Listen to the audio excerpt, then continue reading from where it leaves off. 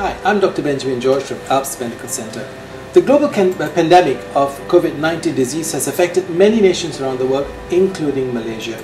And one of the things that we'd like to provide as a service to the community is identify how far, how widespread the disease is in Malaysia.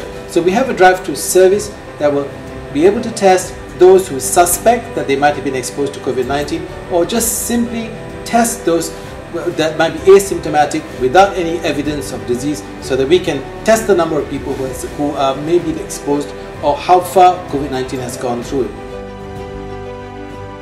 Our drive-through service is a reliable service. You'll get your results in 24 to 48 hours and it is a service provided within the car by the side of our building and there's no exposure to COVID in between one person to the other.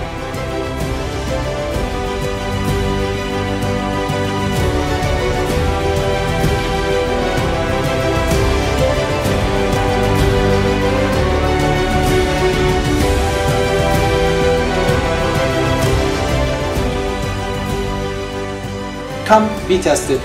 Help Malaysia.